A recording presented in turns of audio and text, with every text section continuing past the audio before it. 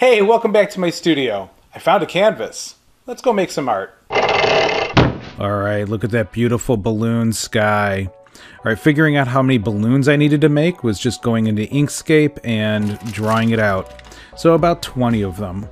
To make those balloons, I decided to make a paper press, which meant using some Fimo and then baking that off as the center part balloon. And then once that was done, I surrounded it with some more Fimo just to make the outer press area and then baked that off as well. Now, a little bit of sculpting was involved here to get the shape just right, but there you go. I made the original balloons out of paper, just cutting about the approximate size I needed, dipping it a few times in water to just get it damp, and then pressing it between the two halves of the mold. If you're going to do something like this, just know that the clay actually started cracking just from the pressure of pressing on it. Anyway, I let those dry and then went on to making some deeper balloons using hot glue because it's plastic, so it was easy to mold. I started off with a sheet of tissue paper, just the regular stuff for gift wrapping, filled that with some hot glue, and then put another sheet of tissue paper on top and pressed away. Now, I was surprised as anyone to find out that hot glue will give you a third degree burn, so watch yourself if you're going to do something like this. Not only did the mold get hot and stay hot for a while, but it oozed out and burned my the tip of my finger, which I then touched to the palm of my hand, giving me two really nice blisters for the next few days. At this point I just trimmed off the excess and I was left with some beautiful paper and plastic balloons. The only trick really is just to find that edge and that was a little bit more difficult with the paper but easy enough. Lucky for me, I am a pack rat, so I did find some blue spray paint in the garage and some white spray paint. Now, these were already white, but this made it glossier and brighter, so I went with that.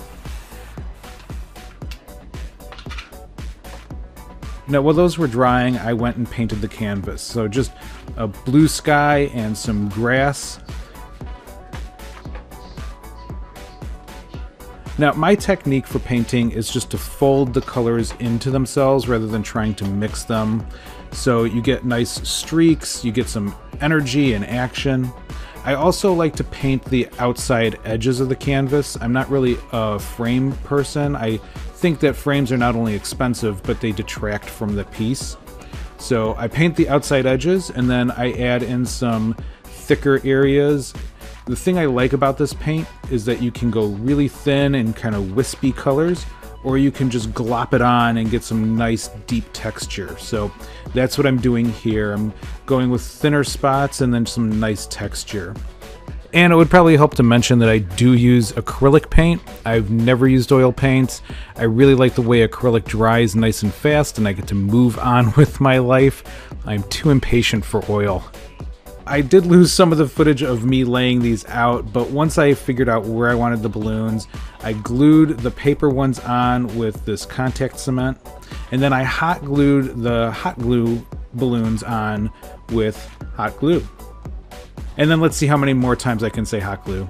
I also liked the hot glue because it, it heated up the balloons enough that I could actually bend them around the side of the canvas and just keep the image wrapping around. This one thing I really like about not having a frame.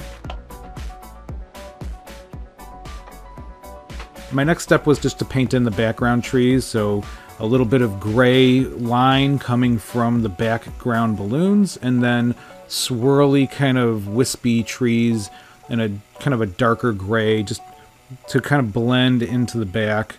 As things are farther away from you, they tend to appear darker, so just keep that in mind as you're painting.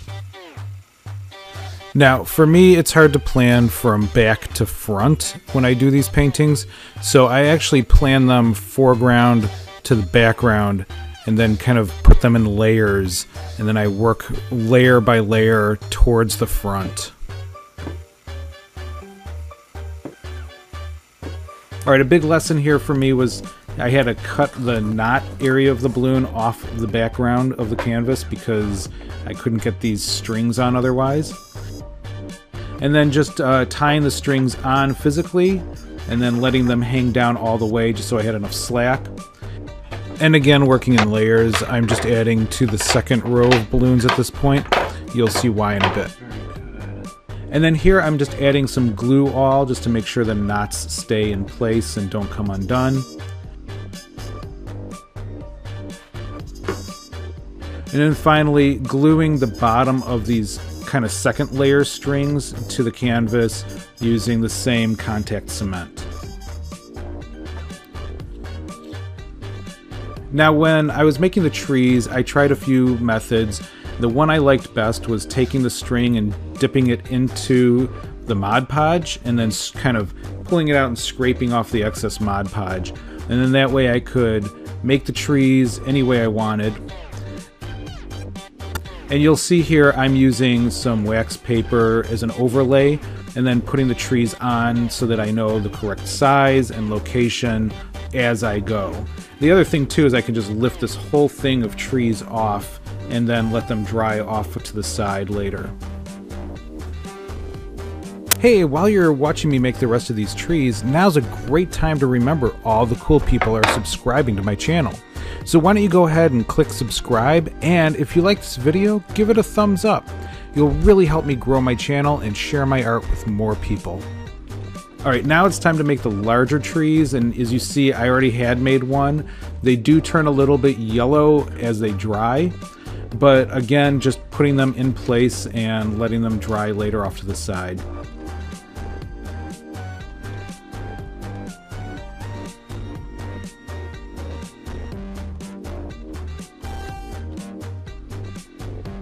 Painting the trees, I used kind of a folded mixture of light green and dark green. Darker green ones for the background trees, and then lighter green ones for the foreground trees. And then a mixture, kind of a folded mixture of brown with a touch of black in it for the trunks. And I just used that same color for all the trunks. The thing about this twine though, and I talk about it at the end of the video, is that it destroys your brush so don't use a really super nice brush for it. Now, originally I was going to use the string coming off the top of the trees, but I messed those up when I was painting, so I ended up having to tie it down from the balloon and then hang it down, measuring where it would kind of end behind the tree so it looks like it's still coming off the top of the tree later.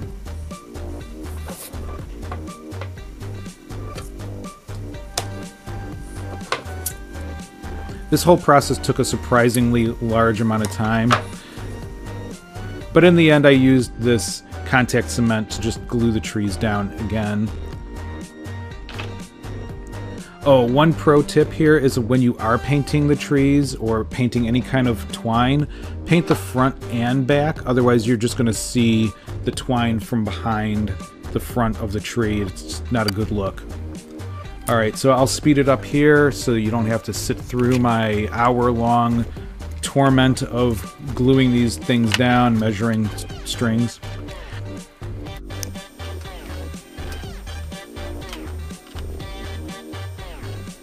Alright, now at this point I thought I was done enough to show my family, so I did. And I got back, nope, don't really care for it. Eh, it's not so good. Basically,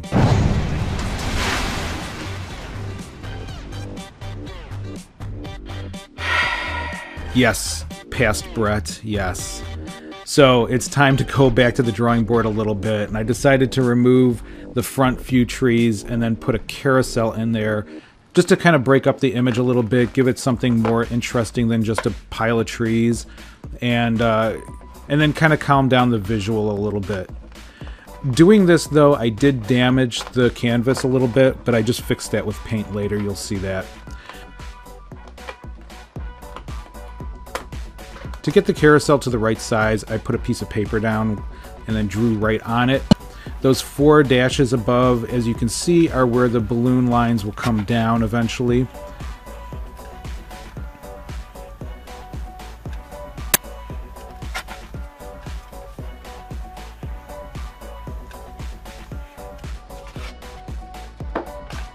And then I just put that on the table, put some wax paper over it, tape that down. That's a really important step there. And then I'm using a pair of scissors to help me kind of press the string in place because the Mod Podge will stick to your fingers.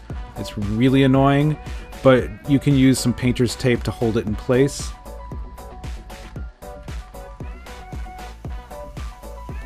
And then, like I said before, just kind of touching up the paint. Now the fun part, I'm just painting in the carousel. This red is actually a bit redder than it shows on the video. I don't know why it's showing kind of orange.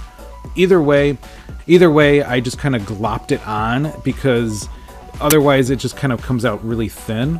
So I'm almost kind of filling in the whole twine area with paint. So it's really thick.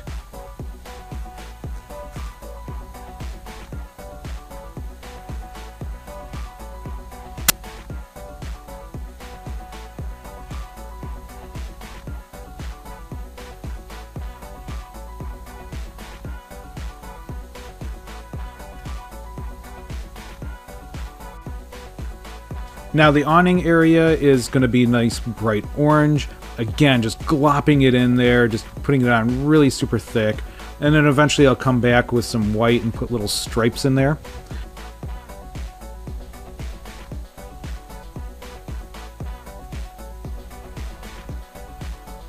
I also use the same orange in this upper base area just to tie the top and bottom in and make them look like one cohesive unit. The bottom area, the very base of the area, I'm using this light blue, one to tie into the sky, but also to kind of set it off from this dark green background, which ended up being a little bit darker than I wanted, but I'm not going to go back and paint it, so there you go. I also filled in the center area with some white. It's a super, super light gray. It's actually a mirror area. Now, for the horses, I went online, I found some images of horses that I kind of liked, then heavily modified them to be what I really wanted. Printed them out on archival paper, and then I'm just painting over them. And so you can enjoy watching me paint these at high speed. This is like 300 times speed. But while you're watching me do this, now is another great time to hit that subscribe button if you haven't already. And if you do like this video, click that like button.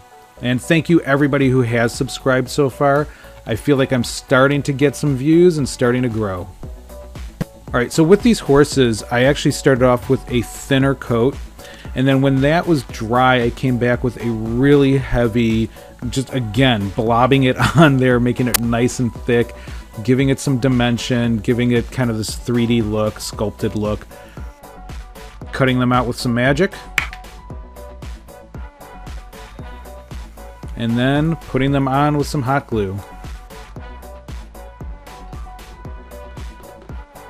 Alright, here it is, the finished piece. Now, I'm not sure how much I like it. I actually kind of don't like it. There's just a lot going on with it.